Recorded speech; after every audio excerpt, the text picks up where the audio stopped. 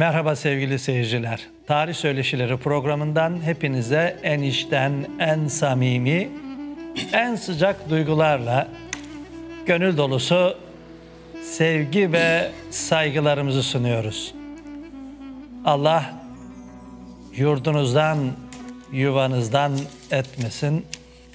Sıcak aşınızı, sıcak yuvanızın mahrumiyetini göstermesin.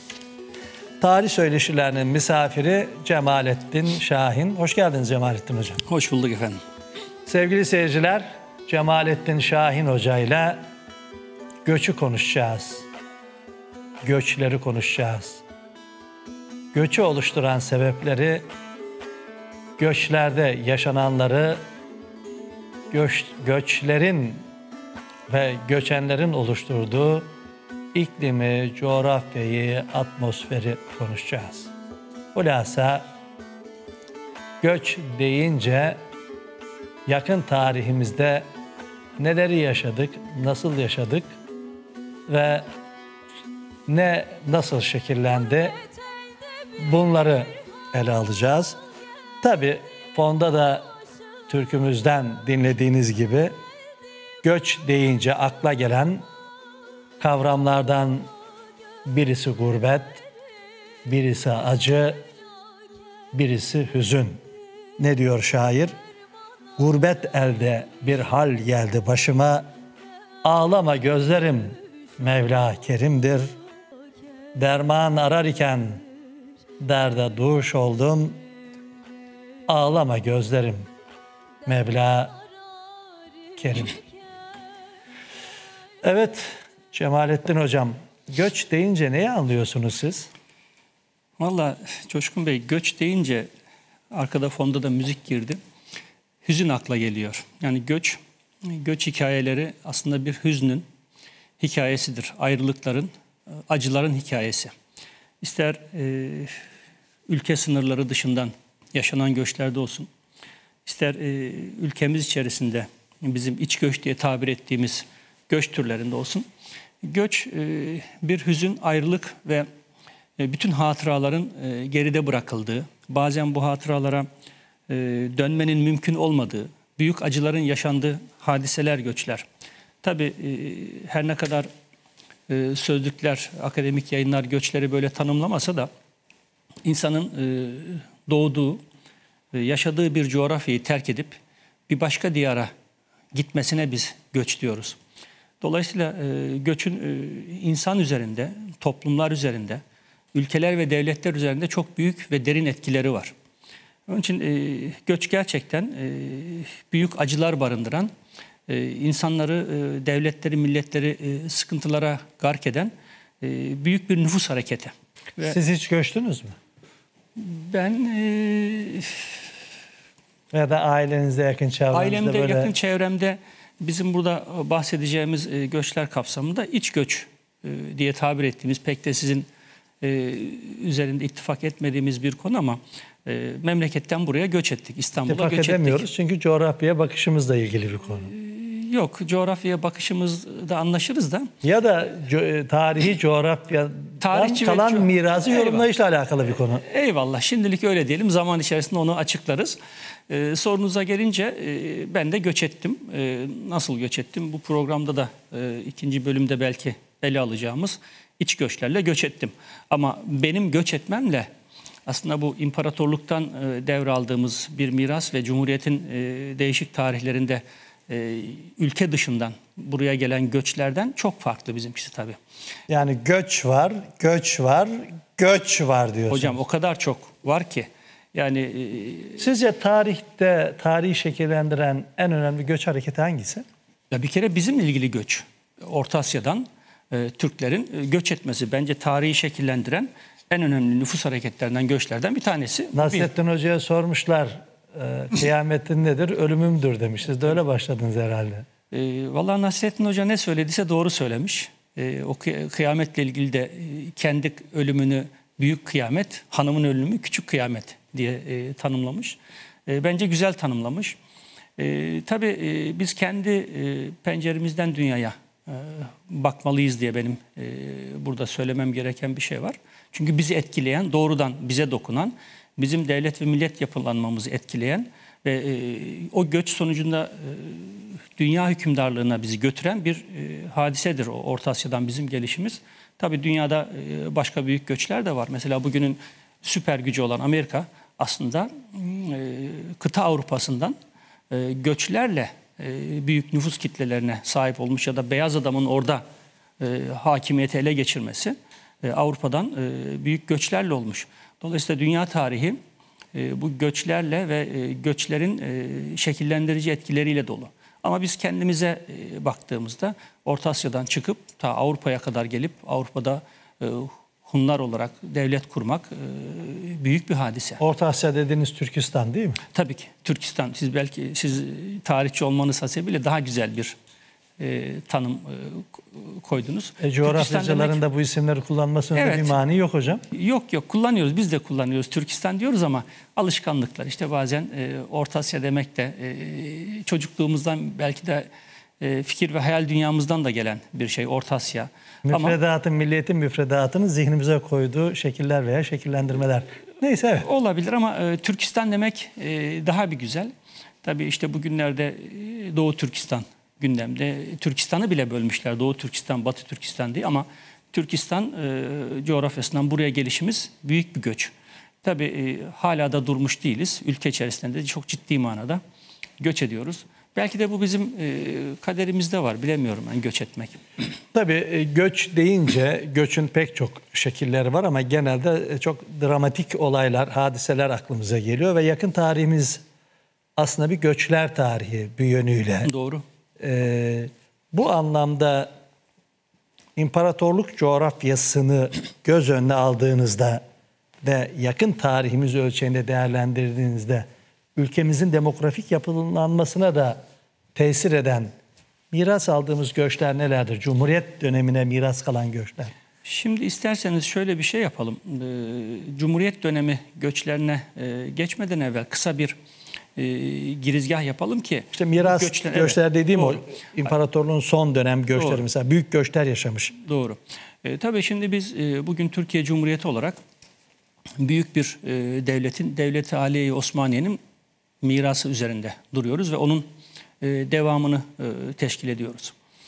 E, Osmanlı büyük bir imparatorluk, e, büyük bir coğrafyaya hükmetmiş, çok geniş bir alanda kendisini kabul ettirmiş bir devlet.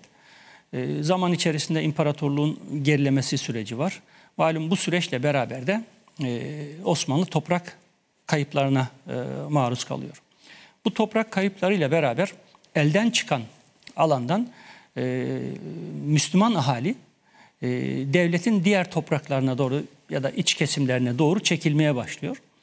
E, mesela bizim e, ilk büyük toprak e, kayıplarımız Kırım'da olmuş. Bizim Akkirman Kalesi'ni kaybedişimizle beraber e, Kırım'dan büyük miktarda göçler Anadolu'ya gelmiş.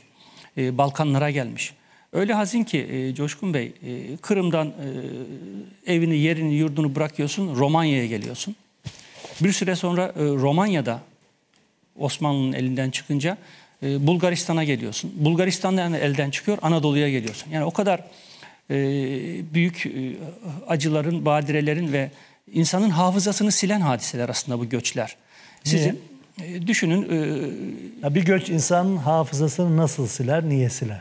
Şöyle bütünüyle e, silmek değil de e, bütün birikimlerinizi bıraktığınızı düşünün. E, Şimdi siz e, doğmuşsunuz, büyümüşsünüz, ev yapmışsınız, hatıralarınız var.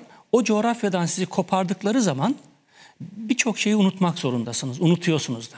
Bu manada hafıza e, silinmesi dedim. Yeni bir ülkeye, yeni bir coğrafyaya geliyorsunuz, yeni bir hayata başlıyorsunuz. Ve hep eskiyi ancak hatıralarla, büyüklerin anlattıklarıyla öğrenebiliyorsunuz. Hele bir kuşak, bir nesil geçtiği zaman da e, onlar sizin için e, çok kalıcı olmuyor. Bu manada bir hafıza kaybı e, dedim. Belki bu anlamda e, millet olarak veya göç nesli olarak veya muhacir nesli veya ilişkisi olanlar olarak bu tarihi ve süreci yeniden yorumlamak ve değerlendirmek gerekir.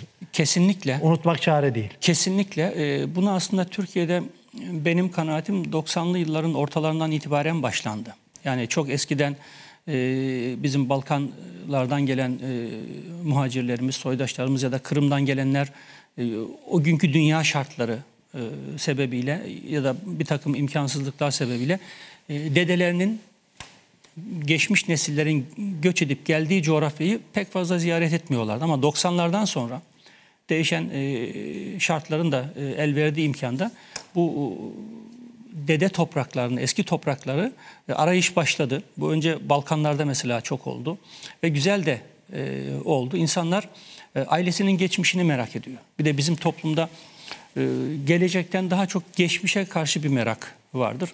Bu da belki zengin ve güçlü bir devletin mensubu olmaktan kaynaklanıyor. Onların izlerini aramaya insanlar gidiyorlar. İşte e, Makedonya'dan göç etmiş, Kırım'dan göç etmiş bir ailenin çocuğu yıllar sonra ikinci, üçüncü nesil olarak e, bu ata topraklarını ziyaret ediyorlar. Bunlar hem e, toplumsal hafızanın kazanılmasında hem e, ilişkilerin kurulmasında önemli süreçler.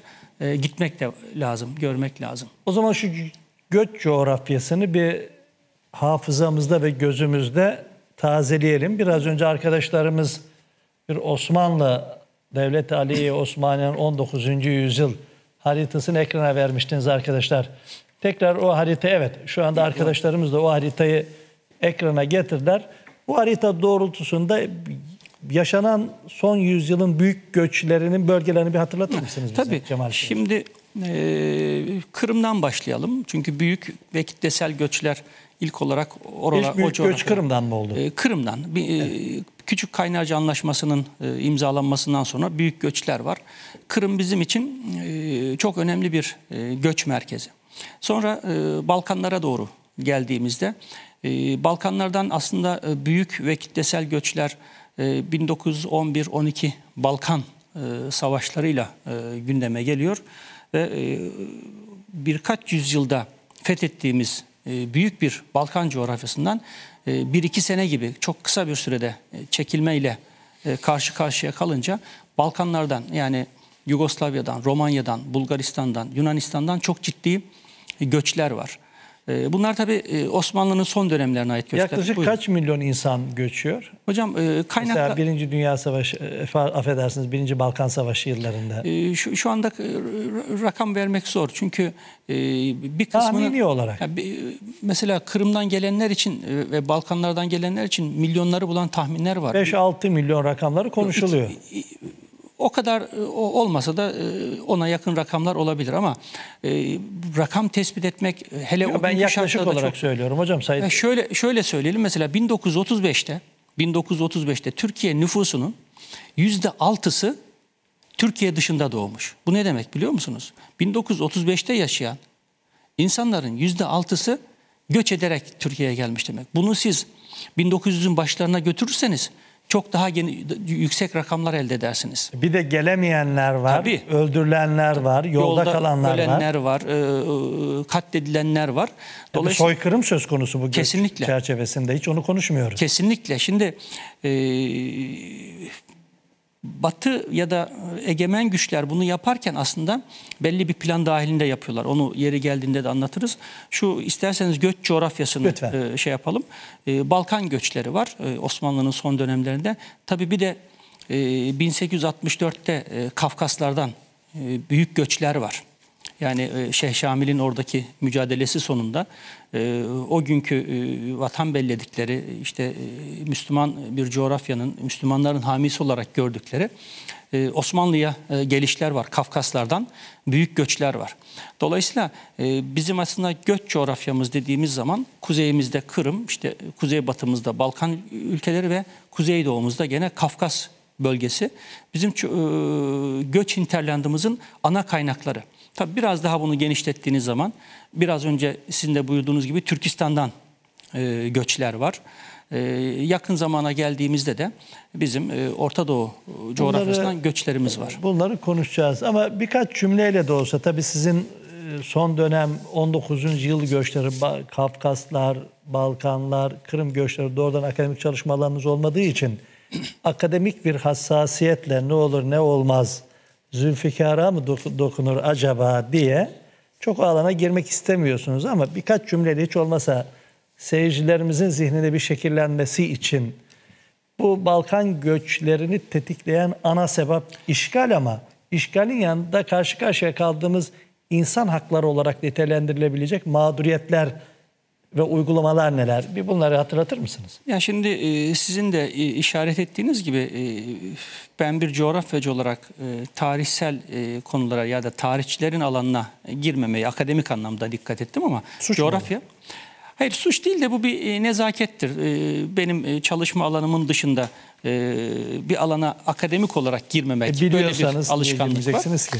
E, Ama e, şu var, ben e, Türkiye'de e, nüfus çalışan, Türkiye'de göç hareketlerinde çalışan bir insan olarak e, tabii Türkiye'nin bugünkü göçlerini anlamak ya da Cumhuriyet döneminde mübadeleyle olan, 1950'lerde olan, 89'da olan göçleri anlamak için tarihe bakmak lazım. O zaman işte biz tarihe ihtiyaç duyuyoruz ve bunun tarihi arka planına baktığınızda hiç kuşkusuz bir kere göç edenler e, Bunun altını çizmek lazım. E, Osmanlı'ya göç eden insanların e, hemen hemen tamamı, bir iki istisnası var. Bunları da açabiliriz. Müslüman olanlar. Yani Müslüman ahalinin eğer yaşadığı coğrafya gayrimüslim devletler tarafından işgal edildiği takdirde Müslüman ahali baskılara maruz kalıyor. Yani orada ad değiştirmeden, mal ve mülküne el koymadan, can güvenliğinden, katliamdan e, bu- bunlar hep plan dahilinde. İsim, din değiştirme. Tabii bunlar hep bir e, plan dahilinde, zaman içerisinde yavaş yavaş egemen güçler e, tarafından yapılınca ahali son çareyi e, ana vatan olarak gördüğü ya da bir e, sığınacak yer olarak gördüğü, kendisine e, aidi, aidiyet duyduğu e, gerek Osmanlı gerekse de Cumhuriyet Türkiye'sinde arıyor. Yani bu aslında bunu konuşmak lazım. E, neden bu insanlar bize geliyor sorusunda e, e, biraz düşünmek lazım. Çünkü e, birçoklarının zannettiği gibi e, dışarıdan Osmanlı'ya ve Cumhuriyet Türkiye'sine göç edenler e, sadece Türkler değil. Bunun altını tekrar çizmek Müslümanlar isterim. Bakın, diye. Evet yani Türkiye'ye göç edip gelen insanların tamamı e, Türklerden oluşmuyor. Yani bunun dışında Türk olmayıp Müslüman olan ahali de Cumhuriyet Türkiye'sini anavatan belleyip Cumhuriyet Türkiye'sini ve Osmanlı'yı e, kendisinin hamisi olarak görüp buraya geliyorlar. Bu bence çok önemli bir sosyolojik hadise. Üzerinde durulması gereken bir şey. Buradan şu soru akla gelebilir. İnsanlar aidiyetlerini neye göre oluşturuyorlar? Dolayısıyla burada e, İslam kimliği önemli bir aidiyet ve hala bu göçlerin Osmanlı'ya ve Osmanlı sonrası Türkiye Cumhuriyeti'ne olması bence aslında e, gene Müslümanlığın hamiliğini bizim yaptığımızın göstergesi diye yorumlarım. Yaşadığımız hadisede bunun Kes- önemli bir göstergesi değil mi? Bu yaptığınız tanımlamanın. Kesinlikle. Bu- Bununla izah edilebilir. Kesinlikle bu, bu izahta, bu açıklamada bunun çok büyük bir payı var. Bugün e, sokakta insanlarla konuşun ya da biz gündelik hayatımızda konuşuyoruz. E, Allah korusun bizim başımıza bir şey gelse bizim gidecek yerimiz yok deriz bak dikkat edin. Bu iki şeyden kaynaklanır bence. Bir, bizdeki e, vatanın kutsallığı, vatan duygusu bırakıp gitmemeyi gerektirir. İkincisi de biz hala e, Müslümanlığın temsilcisiyiz, Müslümanların temsilcisiyiz, hamisiyiz. Biz, biz babayız, biz eviz, biz devletiz, biz devlet babayız. Gidecek yerimiz ama onun için yok. Dikkat Merkez edin. oluşta izah edilebilir mi? Kesinlikle. Bakın olarak. e, İslamiyet'in e, kutsal mekanları Kabe'dir. Ama dikkat edin bugün başı sıkışan e, Müslüman topluluklar böyle kitlesel göçler bakımından e, Suudi Arabistan'a göç etmiyor. Dünyanın bir başka İslam ülkesine göç etmiyor. İmkan bulursa Türkiye'ye göç ediyor. Ve burada göç ederken de etnik kimliği Türk olmamasına rağmen göç ediyor. Bunu nasıl izah edeceksiniz? Bunu Müslümanlık aidiyetiyle ve İslam'ın hamisi olmanın dışında nasıl izah edebilirsiniz? Ben e, temel nedenin burada olduğunu Türkiye'nin görüyorum. tavrı tabii ki. Ke- he- tabii ki Türkiye'nin tavrı. Şimdi Türkiye e, zaman zaman bu tavrında değişiklikler gösterse de ya da bir takım e, zayıflamalar görülse de tarih boyunca aslında e, bu hamiliği hep yapmış. Yani biz e, milli sınırlarımız dışındaki e, Türk ve Müslüman ahalinin e, topraklarımızın da kabulünde herhangi bir e, sınır koymamışız. Herhangi bir işte efendim bizim ekonomimize zarar verir, sosyal dokumuza zarar verir, biz bu yükü nasıl taşırız, taşımamayız diye düşünmemişiz. E, hemen e, her ihtiyacı olana e, Türkiye Cumhuriyeti Devleti kapılarını açmış. Çünkü biliyor hamisiyiz biz. Bu Evet. işin hamisi biziz. O zaman e, Cumhuriyet döneminde Türkiye'ye, Anadolu'ya yapılan dış göçleri bir hatırlayalım. Büyük dış göçler hangileri? Sonra da onları tek tek ele almaya çalışalım zaman el verdiği ölçüde. Cemalettin Hocam. Şimdi e, Osmanlı'nın ardından e, malumunuz Cumhuriyet e, kurulur. Ve e, Cumhuriyet'in kuruluşunda e, Lozan Anlaşması'nın önemli bir yeri var. Lozan'da e, bu göçle alakalı e, bir hadise var ki e, bu uluslararası bir anlaşmayla e, Yunanistan ve biz, bizim aramızda iki devlet arasında yapılan bir mübadele anlaşması var. Yani mübalede dediğimiz şey devletlerin bu iki devletin karşılıklı nüfus değiş tokuşu. Mübadil Mü- ha, müba- ona müsaade ederseniz bu iş cümlenin sonunda geleyim. E, mübadele anlaşması yapılır ve e, Türkiye'deki İstanbul'daki e, Rumlar ile e, Yunanistan'daki Batı Trakya'daki Türkler hariç olmak kaydıyla e, bu iki ülkedeki nüfus değiş tokuş yapılır. Ve biz buna mübadele diyoruz. Bizim e, Cumhuriyet'in e, ilk yıllarında e, karşılaştığımız ya da göğüslemek zorunda olduğumuz en büyük göç e, nüfus hareketi budur. ne kadar sürüyor? E, 1924'te başlar, e, 24-27 diye çoğunlukla kaynaklarda geçer ama bu e, göçler o kadar e, sıkıntılı ki e, bunun ardı arkası kesilmez. Zaten Cumhuriyet tarihine baktığınız zaman e, bazı dönemlerde büyük kitlesel gruplar halinde gelinir ama onun e, dışında da küçük gelişler sürekli vardır. Ne kadar göç alıyor Türkiye veya veriyor? Mübadelede e, Yunanistan'la değişilen e, nüfus sayısı ne kadar? Şimdi bizim e, 1921 ile e, 29'lu yıllar arasında yani yaklaşık e, 8-10 yıllık bir süreçte 480 bin civarında bir e, göç alışımız var. Yunanistan'da. Tabii, tabii bu rakamı e, o günün Türkiye'sinde, o günün şartlarında düşünmek lazım. Türkiye'nin nüfusu ne kadar o zaman? Türkiye'nin nüfusu mesela 1927'de o- 13 milyon, 13.6 milyon. Yani bugün 80 milyonluk bir Türkiye ama o 500 bin rakamını o günün şartlarında düşünmek lazım. Çok büyük rakamlar. Ee, bu e, konuyu anlatırken bu mübadil sözüne bir değinmek isterim. Şimdi e, göçmen ya da muhacir genel kavram. E, biriyle konuştuğunuz zaman e, biz göçmeniz der ama e, bazıları da der ki biz mübadiliz der. E, İşi bilenler, terminolojiye hakim olanlar mübadilim diyenler doğrudan doğruya Yunanistan'dan bu e, Lozan'da yapılan anlaşmayla gelenlerdir. Ama e, muhacirim diyenler, göçmenim diyenler biraz önce saydığımız coğrafyadan gelmiş herhangi birisi olabilir. Bir de bunun karşılığında e, yerli halk için Anadolu'da bir tabir vardır. Onu da e, söyleyebiliriz. E, Anadolu'nun özellikle e, kuzeydoğusunda işte e, Marmara bölgesinde halkın bir kısmı kendisine manav der. Biz manavız der. Bunu bilmeyenler yani Sakarya'da mesela çok Tabii Sakarya'da, Bilecik'te, Balıkesir'de, birçok yerde, Bolu'da, e, gündelik hayatta da kullanılır biz manavız derler. Hatta İstanbul'un köylüleri bile yani yerli köylüleri bile mesela Şile'ye gittiğinizde biz manavız derler, bilirler. Hatta işte manav köyleri göçmen köyleri diye e, halk arasında da Evet. ayrım böyle yapılır. Yani mübadille göçmen e, kavramlarına burada bir açıklık getirmiş. Manav yerli olalım. anlamında mı? Manav e, bizim Anadolu'nun e, yerli Türk ailesini, Türkmen ailesini ifade eden bir kavramdır. Mübadelede ama Türkiye'den Yunanistan'a iade edilen Doğru. e, Yunanlılar da var. Onların nüfusu ne kadar? Şimdi e, Türkiye'den Yunanistan'a e, bazı kaynaklar e, mübadeleyle ilgili e, 150 bin civarında bir e, göç olduğunu e, yazarlar. E, ama e, bu rakamlar üzerinde çok fazla e, şey yoktur. Anlaşma, ittifak Yaklaşık, yoktur. itibari rakamlar evet, olarak öyle. Ba- bakmakta fayda fayda var. Ama çok ciddi göç e, miktarları bunlar. Tabii göçlerin ülkelerin iktisadi hayatın etkisi çok fazla. Ya burada sizin e, vatandaşınız olan e, Rumların yaptığı bir takım işler var. Ya da tersten bakalım olaya. E, Yunanistan'dan mübadeleyle gelen.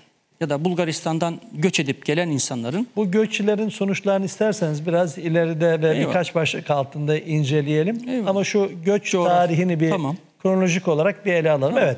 1921'de başlayan ama 23-27 yıllar arasında ana merkezi oluşturan mübadele sistemi Mübadele var.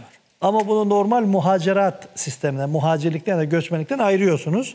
Yok, çok- Hukuki bir anlaşmayla anlaşmayla ve belli haklar karşılığında gelen aynen öyle. Aynen insan öyle. grubu. Ee, çok Muhacirler Çok doğru e, ifade ettiniz.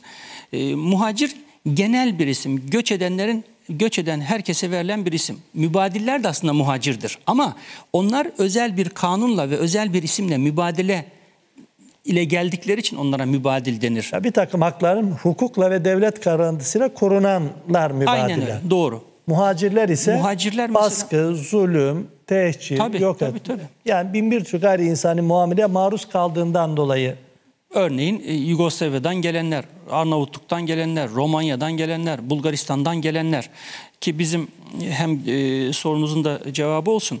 E, bu mübadeleden sonra e, 1950'li yıllarda Balkanlardan e, çok büyük göçler alır Türkiye. İşte o sizin tam da dediğiniz işte e, baskıya, zulme e, maruz kalarak zorunlu göçe e, tabi tutulan bizim muhacirlerimiz var. Neden oldu bu olay? 1950'lerin dünyasında böyle bir hadise neden cereyan etti? 1952'yi kastediyor. Tabii evet 52'yi kastediyorum. Ee, şöyle bir e, siyasi tarihimize bakmak lazım. Hem göçün sebebini de izah edecek orada. Ee, Soğuk Savaş dönemi ve e, dünyada iki kutuplu bir sistem var. Ee, Batı dünyasında e, işte NATO denen bir e, örgüt var. Kuzey Atlantik Asamblesi. Doğu dünyasını temsil eden işte Sovyet Sosyalist Cumhuriyetler Birliği'nin başını çektiği ve Varşova Paktı denilen bir demir perde ülkeleri var karşımızda o yıllar. Tabii e, Türkiye e, bu ikili dünyada, iki kutuplu dünyada e, NATO'dan tarafa kararını verip NATO'ya 1952'de üye olunca e, bunun e, bir nevi yaptırımı olarak Doğu dünyasından e, Varşova Paktı'ndan Sovyetlerin e, şeyiyle e, organi- organizasyonuyla baskısıyla e, demir perde ülkelerinde yaşayan e, yüz binlerce Müslüman Türk yurtlarından sürüldü. Nerelerden oldu bunlar? O günkü adıyla Yugoslavya. Ya bugün Yugoslavya ta- yok tabii bu programı izleyenler özellikle e, belli bir e, yaşın altında olan e, genç nüfus Yugoslavya'yı bilmeyebilir. Ama bugünkü Makedonya, e, Kosova, Karadağ, e, Sırbistan, Sırbistan, Bosna Bosna Hersek. Hersek e, bunların hepsinin bir arada e, olduğu bir devletten e, söz ediyoruz. Tito'nun Yugoslavya'sı. Tabii Yugoslavya e, işte o komünist dönemin e, Tito e, yönetimine e, o şekilde daha çok hafızalara e, da kalan bir ülkeden bahsediyoruz. Oradan e, Türkiye'ye büyük göçler var. E, Sonra e, bu dönem gene e, demir perde, perde ülkesi olan Varşova Paktı üyesi olan Bulgaristan'dan Türkiye'ye 1950'li yıllarda çok büyük e, göçler var. Şu rakamları bir hatırlatır Hatta- mısınız sayıları? Hazırladınız bildiğim Ta- Tabii. kadarıyla. Hatta bu arada arkadaşlar da şey yaparlarsa e, siz söyleyin. E, bir haritamız olacak bizim. Taşlı tarlada göçmen evlerini gösteren bir haritamız olacak. Taşlı tarla derken? Taşlı tarla e, eski İstanbullular çok bu e, şeye semte çok aşinadırlar, bilirler. İşte taşlı tarlaya minibüsler kalkardı ama bugün Gazi Osman unuttuk. Paşa tarafında. Evet. O günlerde Eyüp'e bağlı Eyüp'ün e, kuzeybatısında coğrafyacı şeyiyle söyleyelim. Rami Kışlası'nın kuzeyinde Taşlı Tarla diye bir semt var. Ve hakikaten e, Eyüp'ün e, o yerleşim meskun alanının dışında e, adı da üzerinde zaten Taşlı Tarla. 1955'li yıllarda e, şehir haritalarına baktığınızda orada Taşlı Tarla e, muhacir konutları diye geçer. E, o 1952 NATO'ya e, girişimizden sonra e, Balkanlardan işte e, Bulgaristan'dan e, Yugoslavya'dan olan göçlerden bir kısım göçmenler Bulgaristan göçmenler için burada toplu konut yapılır. Taşlı Tarla semtinde ve e, Taşlı Tarla'nın e, iskanı açılmasında da bu göçmen konutlarının çok önemli bir etkisi var. Ve oranın daha sonraki süreçte önce Göktepe Bucağı, Bucağı diye bir bucak, nahiye kuruluyor. Daha sonra da 1963'te e, burası Gazi Osman Paşa ilçesine dönüşüyor. Aslında Gazi Osman Paşa ilçesinin ilk e, neşet edişi o 1952'den sonra Bulgaristan'dan gelen göçmenler için yapılan e, göçmen konutlarıyla e, olmuştur. E, o taşlı tarla olarak bahsettiğimiz semt biraz önce e, detayını verdik. Haritada da e, görme imkanımız olacak. E, aslında e, bir e, göçmen iskanıyla e, bir yerin nasıl şenlendiğini, nasıl mamur hale geldiğini ve e, ilerleyen süreçte de buranın e, yüz binlerce nüfusa ulaşıp bir ilçe merkezi olabilecek e, duruma gelişini bize gösteren çok güzel bir örnek. Bu arada da e, Osmanlı e, tarihçileri kullanır ya da Osmanlı'da bir terim vardır. Şenlendirmek, mamur etmek, bayındır hale getirmek, ümran etmek gibi isimler aslında bu göçlerle bağlantılı isimlerdir. Mesela şimdi hatırıma geldi konuyu çok fazla da açmak istemem ama e, Ümraniye'de bir ilçemiz var bizim bugün. E, gene onun da haritasını ben e, burada gösterebiliriz. 1917'lerde basılmış olan e, bir haritada e, Ümraniye'nin adı Yeniköy ve parantez içerisinde Muhacirköy diye geçer. Ve daha sonra biz onu Ümraniye diye çevirmişiz. Zaten bu ümran etmek, bayındır hale getirmekle e, göçmenlik, muhacirlik arasında bağlantı vardır terminoloji açısından. Zaten arkadaşlarımız şu anda ekrana evet. sizin sözünü ettiğiniz 1917 Ümraniye. Doğru. Ya veya o dönemdeki adıyla ne? Yeniköy. Yeniköy ya da Muhacirköy. Muhacirköy. Haritada ben onu da işaretledim. Arkadaşlar zoom yaparlarsa görünür. Bu haritayı İngilizler hazırlamış. Enteresan bir şey. O dönemlerde dikkat edin.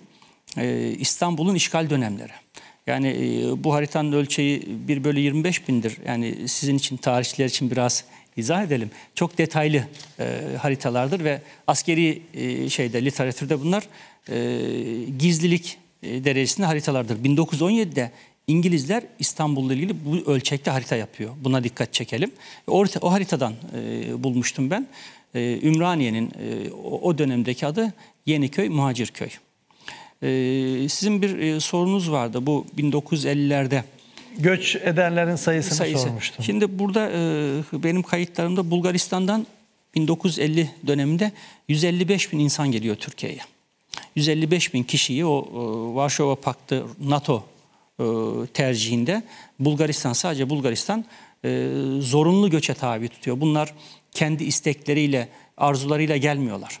Yani Yunan e, Bulgaristan e, Türkiye Cumhuriyeti ile arasındaki siyasi e, ilişkileri, ideolojik kutuplaşmayı. ideolojik kutuplaşmayı hemen ilk yaptığı şey nedir? E, bu göçleri oradaki Türkler üzerine baskı kurmak. Bu bir de e, bizim Cumhuriyet tarihinde e, bir sefer olan bir hadise değildir. Bunun Şu, en buyurun. Onları konuşacağız. E, peki e, Yugoslavya'dan gelen Yugoslavya'dan aynı... gelenler o dönemde 1950 50'li yıllarda gelenlerin 110 bin civarında olduğu kayıtlarda. Hatta bugün Makedonya'da kaldı tabii. O coğrafyaya gittiğinizde görüyorsunuz. Ben bir seyahatimde Üsküp'te pardon Ohri'de insanlarla konuşurken çarşıda e, esnafla alışveriş yaparken hala e, Ohri'de çok sayıda e, Türk esnaf var ve e, birisi şunu söylemişti.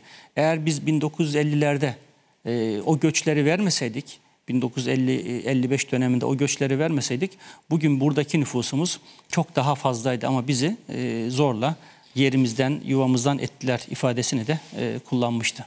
Buyurun. Tabii Çin işgaliyle beraber Türkistan coğrafyasından yapılan göçler var. Onlar hangi yıllarda ve ne kadar bir insan ee, göç ediyor? Aslında çok güzel e, değindiniz. Aynı dönemler. Yani 1950'lerde bu NATO meselesiyle göçlerimiz olduğu gibi 1949'da biliyorsunuz e, Doğu Türkistan e, devleti var. Bağımsız Doğu Türkistan devleti var. Tabii komünist Çin bu devleti işgal ediyor. Yani kurulmuş olan bir devleti 1949'da işgal ediyorlar ve oradaki e, Doğu Türkistan Türklerinin e, bir kısmı e, Altayları, Pamir Dağları'nı aşarak binlerce kilometre yol yürüyerek ve bu seyahat esnasında birçokları hayatını kaybederek önce Pakistan'a, dünyanın diğer ülkelerine ulaşıyorlar. Sonra Türkiye'ye geliyorlar ve o günün şartlarında Doğu Türkistan'dan gelen insanlar oradaki Çin zulmünü e, Türkiye vasıtasıyla dünyaya duyurma imkanı buluyorlar. E, bu takdirde bu şekilde gelen e, Doğu Türkistan'dan sayısı o tarih için e, 5000 civarında bir, rakam ve bunlar mesela Türkiye'de Manisa Salihli'ye yerleşiyorlar. Salihli'ye gittiğiniz zaman Doğu Türkistanlıları görüyorsunuz. Gene Kayseri'de, Niğde'de, Aksaray'da, Türkiye'nin değişik vilayetlerinde e, o dönem gelenler e, iskan edilmişler. Hatta e, bir kısmı da e, İstanbul'a iskan olur bunların. E, Zeytinburnu, mesela Doğu Türkistan'ı hala bugün gittiğinizde bölgede görürsünüz.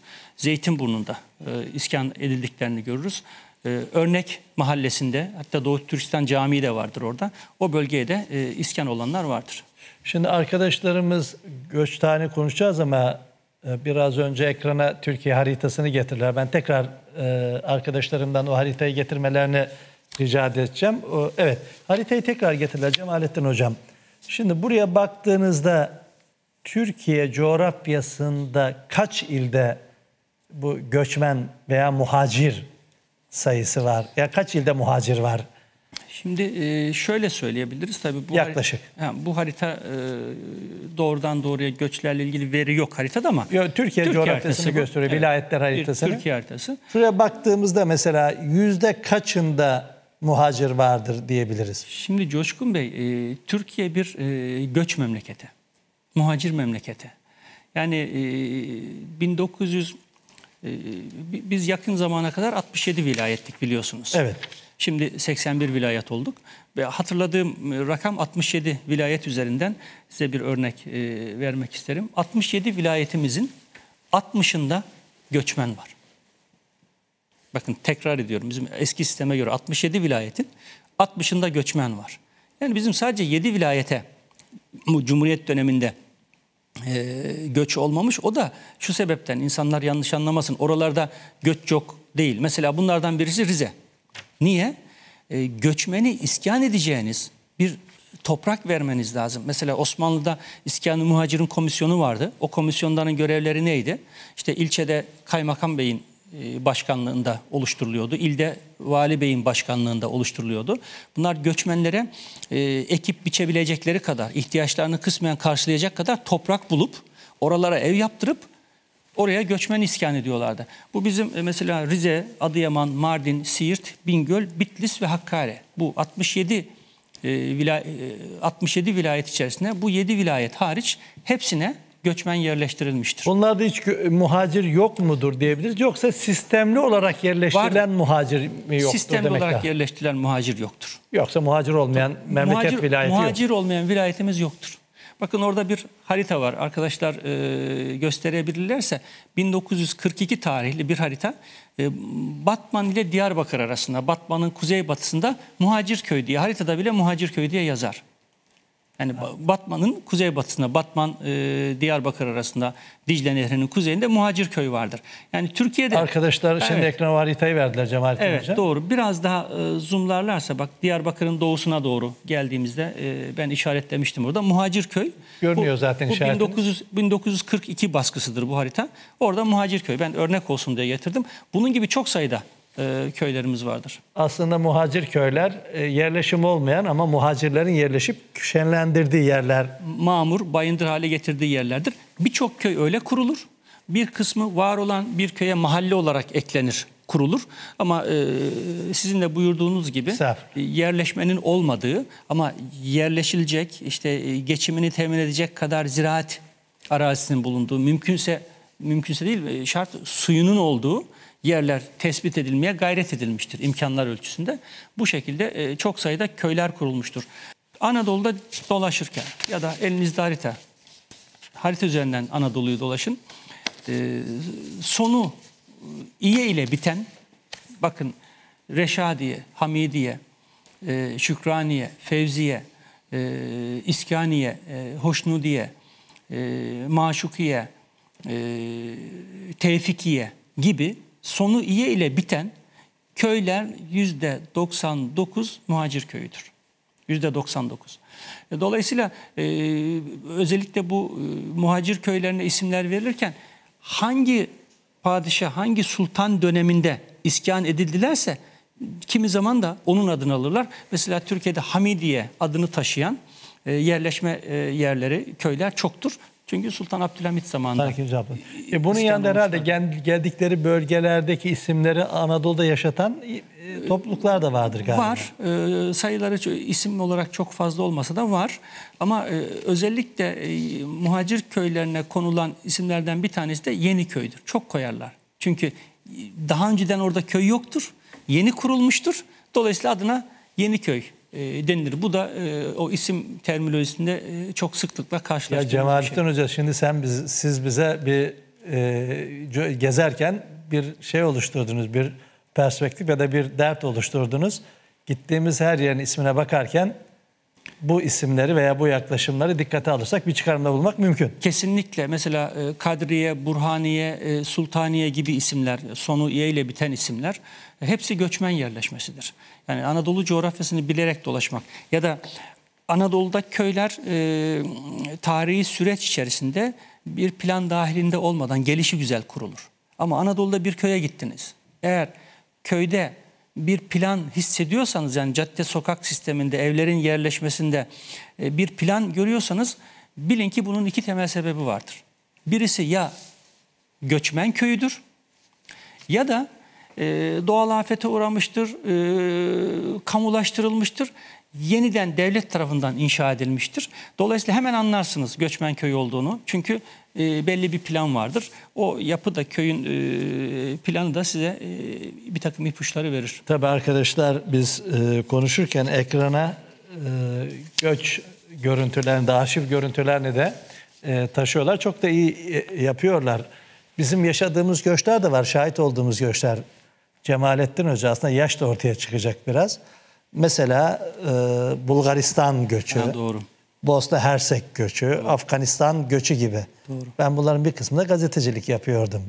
Biraz bu göçleri ve bunların oluşturduğu duygu selini yani o göçün yaşanmışlığına şahit olan bir insan olarak hem duygu ikliminde hem sebep sonuç ve Türkiye yansımaları noktasında 20. yüzyılın son çeyreğinde yaşadığımız göçlerin isim, süreç ve göçenlerin sayısını, muhacirlerin sayısını ana hatlarıyla bize hatırlatır mısınız? Ee, tabii ki e, şimdi bizim yaş itibarıyla e, yaşadığımız, gördüğümüz kitlesel göçlerin birincisi bu sizin bahsettiğiniz e, 1989'da e, Bulgaristan'dan e, Türkiye'ye olan göçlerdir. Şimdi e, biraz önce 1950'lerde Bulgaristan'dan başlayan göçleri e, arz ederken demir perde ülkelerinden bahsetmiştik. SSCB'nin etkisinden bahsetmiştik. Bu 1989'da e, Bulgaristan'dan olan göç de aynı hadisede. Tabii SSCB deyince Sovyet genç izleyiciler bu neresi falan diyorlar. Bari onu da açıklayın da. Sovyet Sosyalist Cumhuriyetler Birliği yani e, bugünkü Baltık Cumhuriyetlerinden e, Türk Cumhuriyetlerine kadar olan çok geniş bir coğrafyayı ele alan ve e, Rusya'nın, e, Rusların egemen olduğu bir devlet. Mesela bugünkü Rusya Federasyonu'nun e, çok büyük bir hali. E, dikkat edin 91 yılında, 90'lı yıllarda SSCB çöktü ve 91 yılında bu e, Sovyet Sosyalist Cumhuriyetler Birliği'ndeki e, Türk devletleri bağımsızlığını ele aldı. Yani Doğu blokunun çöküşü zamanında e, 89'da e, Bulgaristan'da iktidarda bulunan e, Komünist Partisi gene o günkü e, Sovyet e, istihbarat servislerinin organizasyonuyla oradaki Müslüman ahaliyi, Türk ahaliyi göçe zorladılar. Gerekçe de neydi biliyor musunuz Coşkun Bey? Eğer Bulgaristan'daki Türk nüfus orada kalırsa nüfus artışı da dikkate alındığında e, yakın bir gelecekte e, Bulgaristan'ın demografik yapısında Müslüman Türklerin e, önemli bir e, miktara ulaşacağı e, görüşünden hareketle yaptılar bunu. Bu 1989 e, göçünde çok e, dramatik şeyler yaşadık. Benim de e, şahsımla da ilgili bir şey paylaşmak isterim. E, bununla ilgili Türkiye'nin değişik yerlerinde mitingler yapıldı. bu mitinglerden bu mitinglerden bir tanesi de Edirne'de yapıldı ve ben o gün e, Edirne'deydim. Yani Edirne'de e, Kapıkule'de büyük izdiham olurken e, Bulgaristan'ın e, Türklere yaptığı e, baskıyı, isim değiştirmeyi, Belene kampı denilen e, kampların olduğu bir dönemde. E, insanların e, ne yaşadığını biz kendimiz gördük ve çok kısa bir sürede 238 bin, 240 bin civarında insan Bulgaristan'dan Türkiye'ye sürgün edildi. Hatta e, o tarihlerde benim e, İstanbul Fatih'te oturduğum apartmanın e, üst katına da bir e, Bulgaristan'dan e, Türk soydaşımız e, göçmen olarak gelmişti. Yani çok büyük e, acılar vardır. Fotoğrafı arkadaşlar gösterirlerse Kapıkule'de e, treni istasyonunda e, Türkiye'ye ulaşan insanların e, Türkiye toprağını öptüğünü görürsünüz. Onun fotoğrafları sosyal medyada da çok, Çok dolaştı, paylaşıldı, evet. çok paylaşıldı. Ben muhabirdim o zaman. E, doğrudur. E, çok ciddi bir e, dram yaşadı ve yakın zamanda yaşadık bunu. Onun akabinde e, biz 1992'de e, güya medeniyetin beşiği Avrupa'nın ortasında göbeğinde 20. yı- yüzyılda e, bir Bosna Hersek'te Müslümanlara karşı uygulanan bir e, katliamı e, yaşadık ve e, 20 bine yakın göçmen 20-25 bin civarında göçmen gene Türkiye'ye geldi. Ekranda e, şu anda benim gördüğüm Kapıkule, e, Bulgaristan e, göçüyle ilgili bir fotoğraf var. Ama biz e, yaş itibariyle o 89 Bulgaristan, 92 Bosna Hersek ve 1982 Afganistan ki, bu göçleri e, yaşadık. E, tabii e, aslında tarih tekerrür ediyor. Ne çabuk unutuyoruz değil mi? Tabii. Bugün de e, Suriye'den yaşanan göçleri görüyoruz. Yani e, burada şunu söylemek lazım.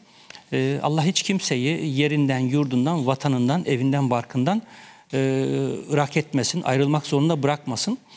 E, çok sayıda Yunanistan, e, Kavala ve Selanik e, mübadili var.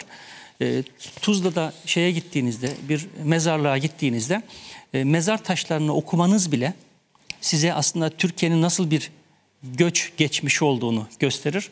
Ee, mezar taşlarında işte Selanik mübadillerinden, Kavala mübadillerinden diye Tuzla mezarlıklarında e, çok sayıda mezar taşı görürsün. Türkiye'nin değişik yerlerinde de vardır bu. Ee, bizim e, göç tarihimiz, e, göç hafızamız oldukça zengin ama acılarla da dolu bir e, hatıra diyebiliriz bunlara. Tabii göçü bir takvim olarak okumak var. Bir e, kronoloji olarak okumak var. Yani takvim dediğim. Rakam olarak okumak var. 100 bin, 200 bin, 387 bin, 323 gibi. Göçü bir yaşamak var, bir anlamak var. Şimdi Coşkun- Ama galiba e, göçler tarihinin hem siyasi hem sosyal hem kültürel hem dini boyutlarını iyi irdelemeden bugünkü Türkiye'nin demografik yapısını ve topografyasını, kültürünü, sosyal ve iktisadi hayatında tam anlamak mümkün, mümkün, değil. değil, e, zannediyorum. Onu bir başka programda inşallah etraflıca ele alırız. E, çok teşekkür ediyorum. Cemalettin Hoca. Aslında bir kısmını yaşadığımız ama çok çabuk unuttuğumuz bir olayı, göçler olayını bize hatırlatma imkanı verdiniz. Çok yönüyle konuşulması gereken bir olay. Biraz önce de ifade ettiğim gibi. İnşallah ilerleyen programlarda bunları konuşma imkanımız olur. Çünkü unutmayalım ki unutmakta felaket, hatırlamakta fayda vardır sevgili seyirciler. Cemalettin Şahin hocamızla Türkiye'nin dışarıdan aldığı göçler tarihini ana hatlarıyla sizlerle paylaşmaya çalıştık. Allah kimseyi yurdundan, yuvasından icbari bir sebeple etmesin diyor. Sizleri yayın ekibimizin Cem Karaca'dan hazırlamış olduğu bir eserle baş başa